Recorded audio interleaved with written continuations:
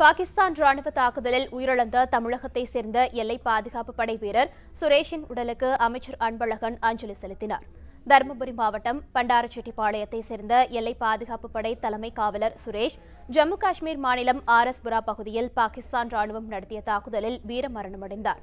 சுரேஷின் உடல் டெல்லியில் இருந்து விமானம் மூலம் கோவைக்கு கொண்டு செல்லப்பட்டது.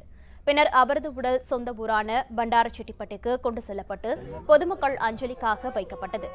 சுரேஷ் உடலுக்கு அமைச்சர் அன்பழகன் அஞ்சலி செலுத்தினார். பின்னர் முதலமைச்சர் அறிவித்த இருபது லட்சம் ரூபாய் நிதி உதவியை சுரேஷ் குடும்பத்திற்கு வழங்கினார்.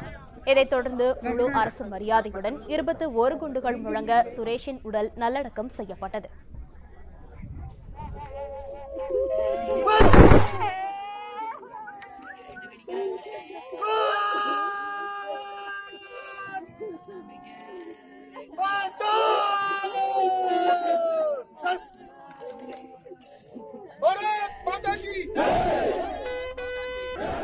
சுரேஷிற்கு ஜானகி என்ற மனைவியும் புன்னகை என்ற மகளும் ஆதர்ஷ் என்ற மகனும் உள்ளனர்.